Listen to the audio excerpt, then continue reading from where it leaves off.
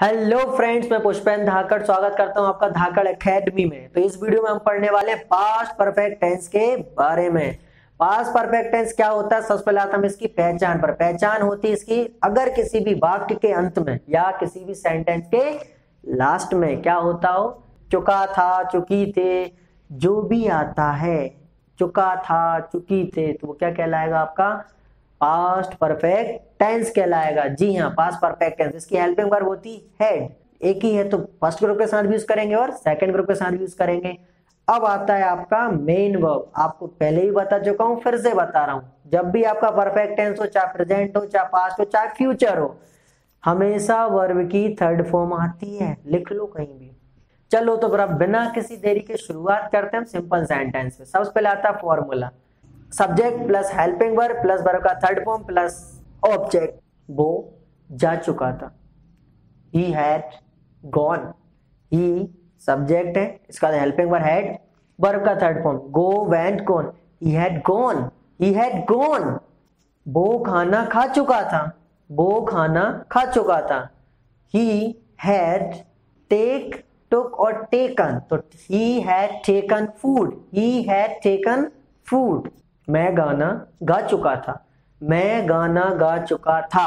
I had sung uh song I had sung a song got it तो guys ये आपके simple sentence होते हैं। अब हम आते हैं नेगेटिव पे। नेगेटिव सेंटेंस आप जानते ही हैं कि हेल्पिंग वर्ब के साथ नोट लगा दो।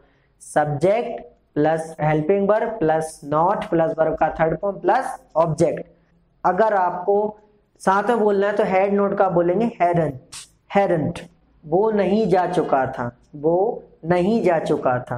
तो he hadn't gone he hadn't gone train नहीं जा चुकी थी। ट्रेन नहीं जा चुकी थी।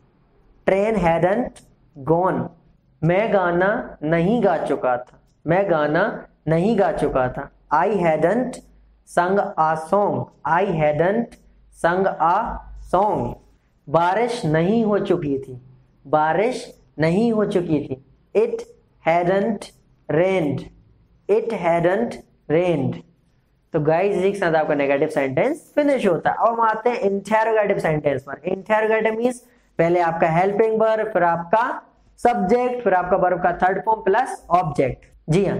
क्या वो जा चुका था? क्या वो जा चुका था? Had he gone had he gone क्या तुम रो चुके थे?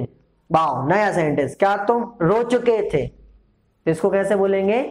Had you cried had you cried क्या मैं गाना गा चुका था? क्या मैं गाना गा चुका था? हैड आई संगा सॉन्ग हैड आई संगा सॉन्ग तो गाइस इसी के साथ आपका इंटरोगेटिव सेंटेंस फिनिश होता है। अब हम आते हैं इंटरोगेटिव प्लस नेगेटिव पर। इंटरोगेटिव प्लस नेगेटिव क्या होगा? Helping verb plus subject plus not plus verb का थर्ड फॉर्म प्लस ऑब्जेक्ट या फिर hadn't plus subject plus verb का थर्ड फॉर्म प्लस ऑब्जेक्ट क्या वो नहीं जा चुका था? क्या वो नहीं जा चुका था? तो क्या होगा इसका?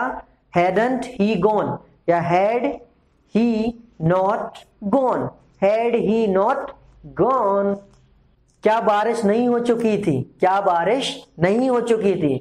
तो hadn't it rained hadn't it rained या फिर हैड इट नॉट रेंड तो इसी के साथ आपका इंटेरोगेटिव प्लस नेगेटिव खत्म होता है और इसी के साथ आपका पूरा पास्ट परफेक्ट टेंस भी फिनिश होता है। तो होप यू गाइस आपको ये समझ में आ गया होगा। प्रैक्टिस करें।